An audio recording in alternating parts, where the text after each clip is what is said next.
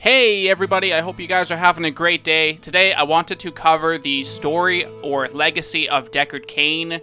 So, Deckard Cain, as we know him, was a kind and avid scholar who dedicated his life to the pursuit of knowledge and the protection of Sanctuary from all demonic threats. He had a soft spot for storytelling, as we know.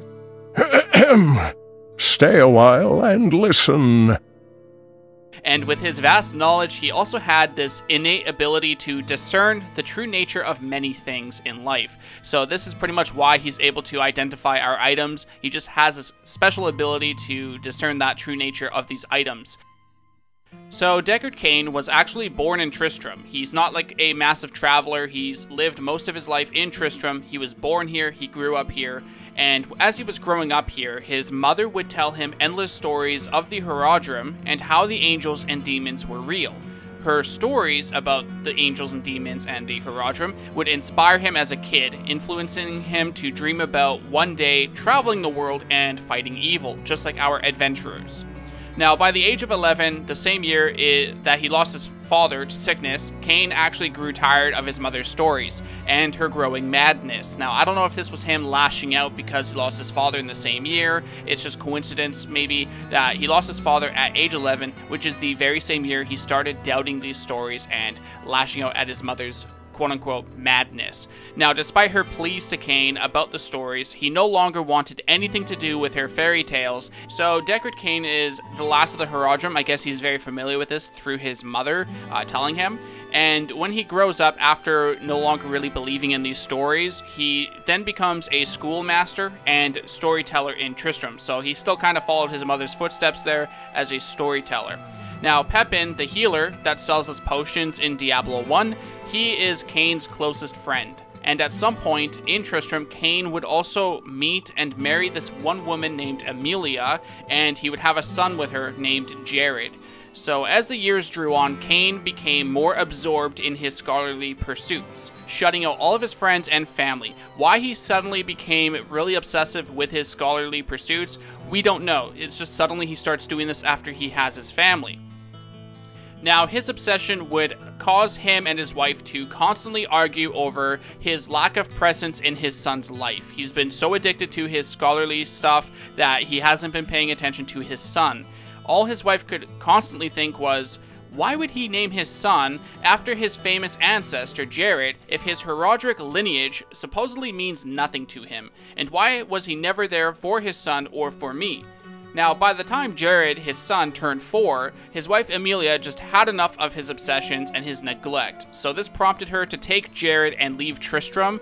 But unfortunately, shortly after they left the safety of Tristram, her wagon was attacked by a group of bandits, and they ended up killing his wife and his son. So the deaths of his wife and son haunted Deckard decades even after their death. He still thinks about it even when he was alive as a very old man, and he still held on to the death notice that he had received concerning them. Now, during the Darkening of Tristram, this is where we get to the actual games with Diablo 1 as we know it. That's the Darkening of Tristram. Deckard and the rest of the town noticed how King Leoric's mood steadily darkened over a period of time since he arrived in Tristram. This would lead Cain to again spend a lot of time in the library of Tristram's Cathedral, going over old Horadric texts. The Horadric texts contained the exact same stories his mother always told him about when he was a child, and he couldn't help but notice that these texts contained accounts of both angels and demons as history, not as myth. From what he was reading in these texts, he guessed that based on how Leoric was acting, that Diablo himself had indeed infected the king with some kind of corruption. So, reflecting on the events of the past year, with uh, the king showing up in Tristram, and now he's killing people, he's claiming everyone's betraying him, he's going insane, and then, of course, we have some other events that go on. After reflecting on these events, Cain begins to reflect on the tales that his mother originally told him when he was younger, and he was curious about whether there was any truth to them. Could there really have been some evil entity buried underneath the town of Tristram? Well, Cain would quickly come to regret that thinking and not acting upon his concerns because shortly after, Archbishop Lazarus had actually led a group down into the cathedral, and that was actually when Lazarus betrayed everyone, led everyone to their deaths, and they were killed by, of course, the demon we know as the Butcher. So, between the Mad King and now the betrayal of Archbishop Lazarus, a lot of the villagers of Tristram quickly began to leave the town. Now, coincidentally, a self proclaimed witch by the name of Adria arrives in Tristram, and soon after her, a group of adventurers also show up, curious about what's going on with the cathedral. So, word has spread very wide across the world, and now we have uh, several adventurers a Vizjerei mage, as we know, as a sorcerer. We got the Sister of the Sightless Eye rogue, as we know, and even the warrior Aidan. So now that these adventurers and this witch are here, curious about the cathedral, and with Cain now an expert in the Horadric texts regarding the angels and the demons, Cain would lend any advice and knowledge he could to the adventurers as they explored the depths of the cathedral. So this is our character going down through the levels, of course. His help would actually lead to not only the defeat of the now cursed king Leoric, Rest well, Leoric. I'll find your son. The betrayer Lazarus. Abandon your foolish quest. All that awaits you is the wrath of my master. You are too late to save the child. Now you will join him in hell.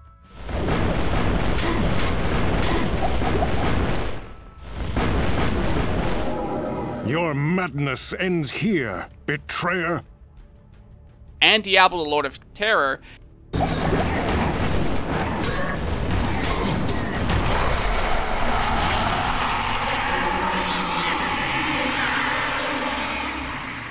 But, however, keep in mind here, despite this defeat and this amazing victory and everyone celebrating in Tristram, despite that defeat and this victory here, the warrior Aidan, who was there, in fact, to kill Diablo, he actually absorbed Diablo's soulstone with the hopes of containing the Lord of Terror. And surprisingly, I don't know how, but Deckard Cain did not pick up on this when the warrior started acting very similar to King Leoric. I guess he thought maybe the warrior was just having a lot of PTSD and side effects from going through this very devastating ordeal down below Tristram, but Deckard Cain did not pick up that maybe he did take the Soul Stone.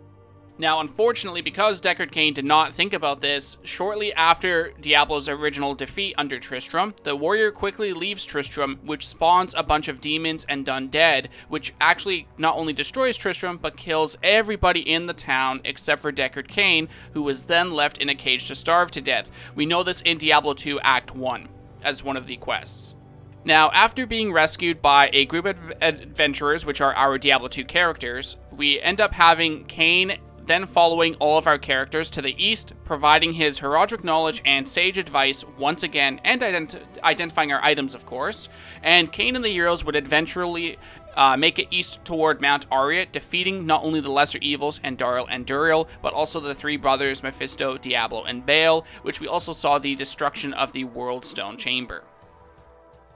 Now, five years after the destruction of the Worldstone Chamber, which is the end of Diablo 2, according to what we know so far of Diablo Immortal from what I've seen, Cain visits the island of Bilefen to investigate its corruption, which is where he first meets the Diablo 3 heroes. So he doesn't meet the Diablo 3 heroes at the beginning of Diablo 3. It's apparently more than a decade before that, which is when Diablo Immortal takes place. Now, after cleansing Bilefen, Cain would then spend the next 13 years with his adopted niece Leah, where the two would then hunt for artifacts and various different types of lore that would help piece together the prophecy of the end days. Now, after 13 years of this traveling and exploring, Leah is now a young woman, and the two, Deckard Cain and Leah, decide to return to Tristram, still in pursuit of the prophecy. He went back to his old ways, of course, going through the cathedral and just simply digging into all of the Horadric texts. So he just poured over the tombs and manuscripts and just didn't really find anything. He just spent a lot of his time there with Leah. And this lasted about a year after their return to Tristram, which is just before Diablo 3. So while Cain is in Tristram with his adopted niece Leah going through the Horadric text, Cain's prophecy comes true when a star falls from the heavens, striking the cathedral itself. Saved again by the very same adventurers he met on the island of Bilefen, our Diablo 3 heroes, Cain and these heroes then pursue the location of the fallen star. After finding pieces of an ancient and powerful sword on the way, an agent of Belial, known as Maghda, finds the pieces with Cain, takes Cain and the pieces, and captures them. It's your choice, Cain. Either use your Horadric arts to repair the sword, or your dear Leah dies a horrible death. All oh, this pain, this destruction. What is the sword to you? To me, nothing. To my master, Belial, everything.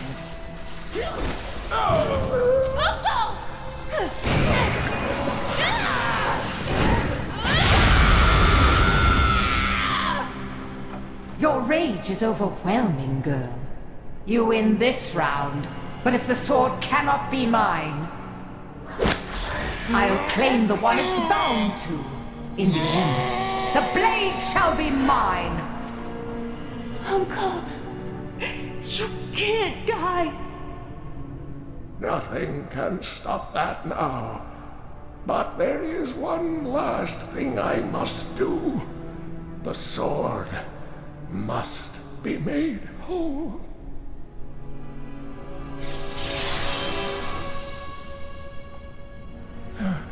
Just as I suspected, the sword is of the high heavens. The stranger is an angel. Heed the journal. The truth lies within. Uncle Deckard!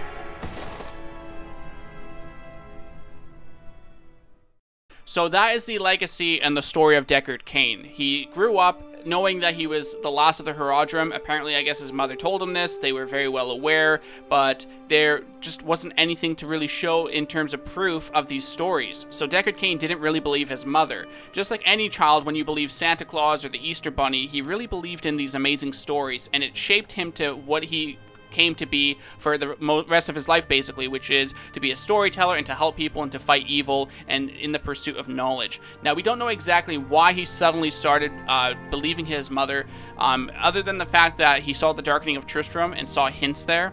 But even before that, when he married his wife Emilia and had his son Jared, he suddenly neglected them to study like just sit there in the cathedral and study, study, study. So something turned him to that. Now I don't know what it is. We don't know why, but he that's just what happened, and it led to his wife basically leaving him and that's when he lost his wife and son when they decided to leave with a group of bandits so i really hope this was a useful video if you guys really enjoyed it don't be afraid to leave a comment down below discussing your thoughts anything you would like to request just anything i hope you guys enjoyed this video thank you so much for tuning in as always and i'll see you next time hopefully